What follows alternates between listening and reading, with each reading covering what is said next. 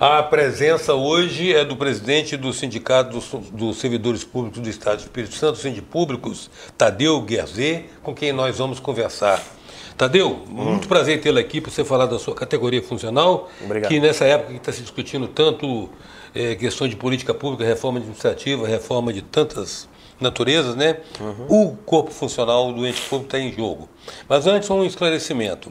Os sindipúblicos, ele representa o conjunto da totalidade dos funcionários públicos, porque a gente identifica eh, sindicatos que são vinculados a categorias específicas. Como é que é essa representação?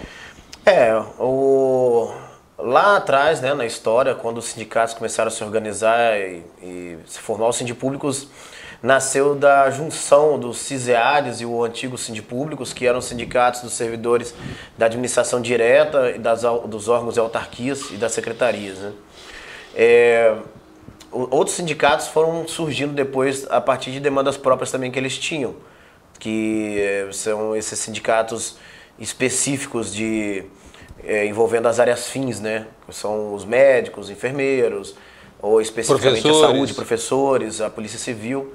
Eh, nós hoje representamos eh, basicamente os servidores que estão nas áreas meio, no estado como um todo, educação, saúde, segurança, e nos órgãos, autarquias e algumas empresas públicas também, porque, por exemplo, nós temos o Banestes, que é uma empresa pública, mas é dos sindicatos bancários.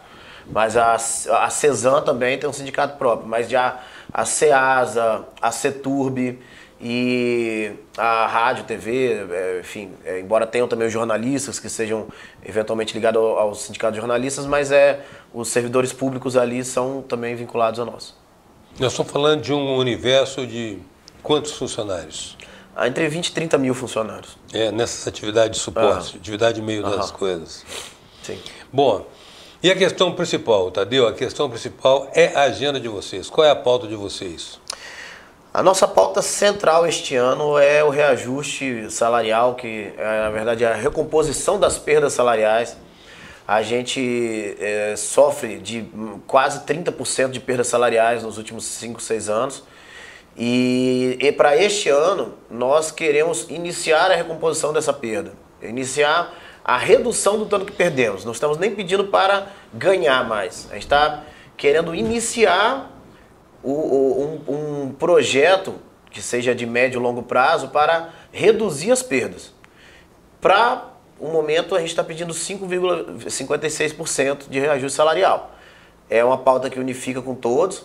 Para além dela, nós, Cinco? Cinco? é 5% este ano já iniciaria uma recomposição Mas isso, diante- isso, na verdade, só recompo- é- é- é essa recompos- recomporia a inflação do período, né? do último é, ano. É, pra- porque este, a gente a gente não vai, a gente não quer, a gente não não, não quer colocar o, o governo, o estado contra a parede e exigir, por exemplo, que dê pra gente esse ano 26%. Que seria o, é, que seria a recomposição a, dela. É, a né? recomposição. Justa. Sim. A gente sabe, nós temos a é, uma, uma responsabilidade com as finanças do Estado também, e a gente acredita que é possível você ser justo, você fazer justiça com os seus trabalhadores, ser um, um- um, talvez como digamos no, na iniciativa privada, um patrão justo, e você ter é, responsabilidade com as suas economias. É possível isso. Por isso que a gente acha que, que é, essas perdas totalizadas, nós esperamos que o Estado prolongue e tenha um plano para ir aos poucos é, concedendo reajustes anuais acima da inflação e que um prazo de médio ou longo prazo consiga é, a, gente é, saldar essa dívida que tem conosco, né? para este ano, o mínimo que a gente está pedindo é esse. É claro que é, é pouco ainda diante de tudo isso, mas é o primeiro passo para a gente. A gente quer que o Estado sente conosco e a gente elabore um plano de recomposição dessas perdas. Então, então veja bem, você está falando numa demanda de, a cada ano, o Estado operar a- a- o reajuste, sim, o reajuste, escalonadamente, Hum. Aham. uma reposição parcial até completar as perdas que se acumularam no período. É. Então, E você é- tem sentido receptivi- receptividade do, do interlocutor, no caso o governo? Olha, a gente tem conversado com alguns secretários, principalmente. O governador ainda não recebeu a gente, né? Mas é, a gente sente através de como o governador é, aponta os sinais, os gestos, através dos meios de comunicação e suas redes sociais, que ele faz um discurso de lamentação, como se, como se se preocupasse com as nossas perdas, né, a nossa vida, e até porque ele pretende se diferenciar muito do governador anterior, ele tem essa preocupação, mas efetivamente não há uma diferenciação que a gente tenha sentido até agora no, nesse campo da, da, do tratamento com o serviço público, né? Porque a, os argumentos que o governo foi apresentando partiram primeiro de uma preocupação em relação ao comportamento das finanças. É, equilíbrio fiscal. É. Equilíbrio fiscal. É, o equilíbrio fiscal, mas é assim, é, é, quando a gente fala de economia, eu também eu, eu, eu estudei essa área da economia também, é, é, tem um debate interessante nesse, nessa área, que é a dos economistas mais ortodoxos, os mais heterodoxos, né, que vão dizer, alguns nas crises vão sempre falar menos Estado, mais arroxo, é ajuste fiscal, que é um termo que está bem na moda, né? E os economistas heterodoxos já acreditam que é preciso o Estado a, a, a investir em políticas anticíclicas e colocar dinheiro na economia e movimentar. O ajuste fiscal, hoje, é, não, é, não, não, não, não existe um ajuste fiscal exatamente no Estado. O ajuste fiscal tem sido limitado a nós. O ajuste fiscal somos nós. A remuneração do, é, do, do, funcionalismo. Tudo que se diz da grande administrador que foi Paulo Artung ou Casagrande ou essa nota A aí que apareceu, isso se resume a uma coisa, não tem nada de genial na administração deles. Foi simplesmente dizer não ao servidor público. Isso que garantiu toda essa ideia que eles são bons gestores. Foi, foi constantes nãos sendo ditos aos servidores públicos. Porque o, é, isenção fiscal, os subsídios, não são políticas de ajuste fiscal, são políticas de é, desoneração do Estado. Você está abrindo mão de receitas. Então, é, gastos com propaganda, é, gastos com algumas obras específicas, isso não é ajuste fiscal. Isso não é exatamente um equilíbrio. O, o equilíbrio está sendo basicamente a gente. O uhum. corte no nosso salário. E nesse caso você não faz muita diferença. Você contratar, por exemplo, 307 cargos comissionados no Ministério Público, isso também não é ajuste fiscal. Você, você, você não faz distinção, então, na verdade, é Chico e Francisco, tudo mesmo entre os governos que, que eu, se sucedem no trato com vocês. É, eu até faço algumas distinções, mas é quando eu entro num assunto é, específico do meu sindicato, que é a bandeira do, da recomposição das nossas perdas, do tratamento ao servidor público, ainda não foi demonstrado. Estou esperando. A presença hoje é do presidente do Públicos, Tadeu Guerzê. Voltamos já.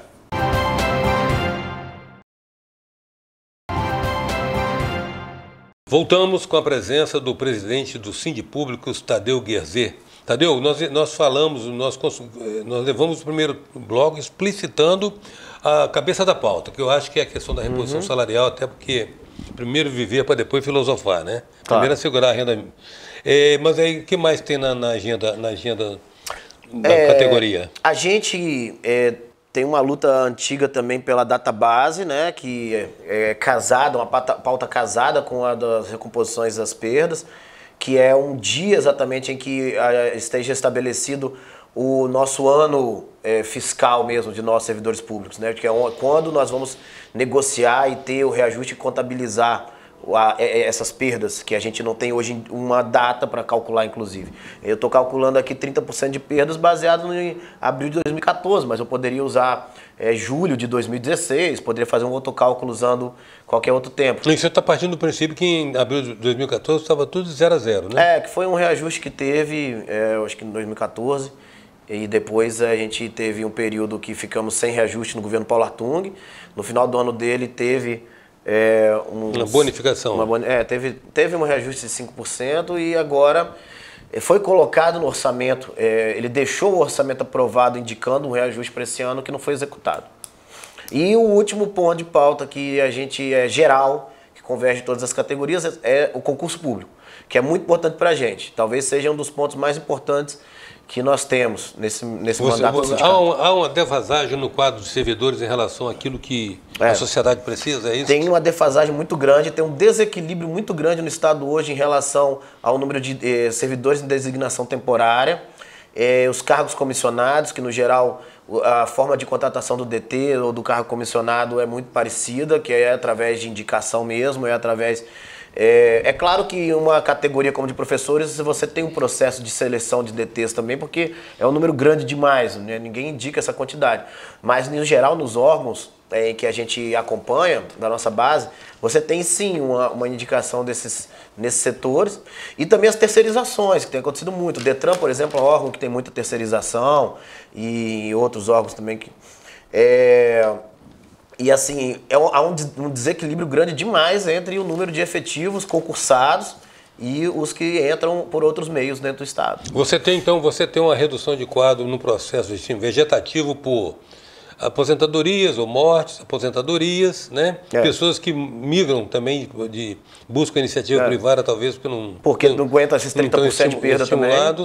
E vocês veem a DT as, as, as designações temporárias, né? Uhum. Também como se aprestando a um jogo político de, de, de... É, certamente isso é barganha. De barganha. O, você tem uma a, a, política não só no Espírito Santo, é, vai a nível municipal, estadual, federal no Brasil, é, sabe mundial, inclusive.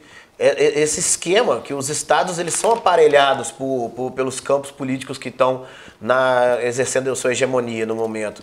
Você tem uma barganha entre o legislativo, o judiciário e o executivo, a necessidade de você é, coesionar seus interesses do, do executivo com o legislativo.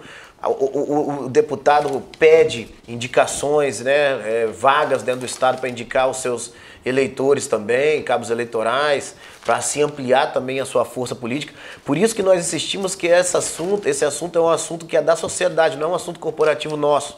E isso talvez seja um dos principais pontos de partida para resolver os problemas que envolvem a política e a sociedade, e a sociedade como enxerga essa política. Vocês, vocês certamente monitoram ou pelo menos se, é, é, buscam ter acesso aos elementos da conta do Estado para saber até que ponto recusas não são causadas por limitação de recursos e até que ponto também pode, pode ser por um esgotamento da capacidade de comprometimento do endividamento do Estado. É, a gente se preocupou muito com isso, porque no geral a gente vive uma era em que muitas verdades são engolidas. É, se repete tanto alguns jargões que muita vira, gente da sociedade verdade. acaba vira aceitando. É. E uma deles é que os, o movimento sindical é, não se preocupa com isso, preocupa só em pedir, mas não em analisar. Nós tivemos essa preocupação, nós analisamos o comportamento das receitas correntes líquidas do, do Estado. A gente sabe que o comportamento da economia tem sido positivo no Espírito Santo é, não só nas receitas correntes, mas a, as exportações têm aumentado no Porto de Vitória, é, a movimentação de mercadorias, enfim, esse foi o primeiro ponto. O comportamento está ok, positivo. Já em relação aos acordos e as leis, seja a LRF, seja o teto dos gastos ou o acordo de renegociação da dívida dos estados, tudo isso também está. Nós estamos abaixo dos limites que são exigidos de gasto pessoal na lei de responsabilidade fiscal. Nós também, é, a, a, o teto dos gastos não impede o reajuste no orçamento, desde que seja limitado à inflação, coisa que nós também não recebemos.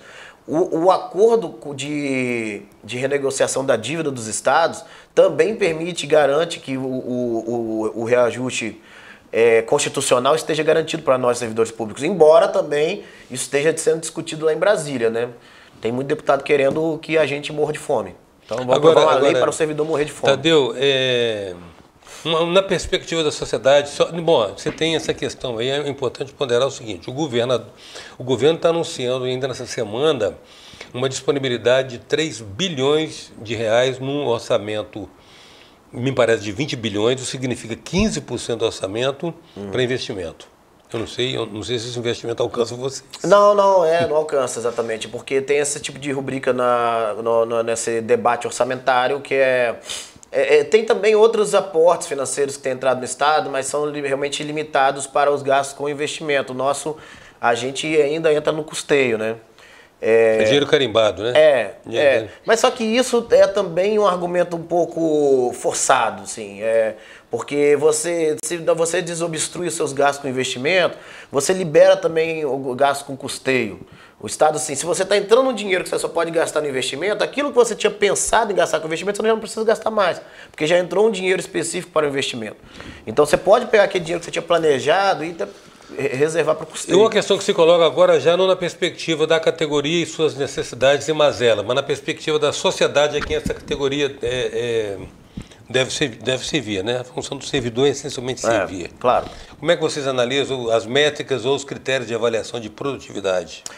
Não, a gente é, é, é importante falar disso porque é, também é uma das verdades do, do momento, né? Da, que o povo anda engolindo por aí.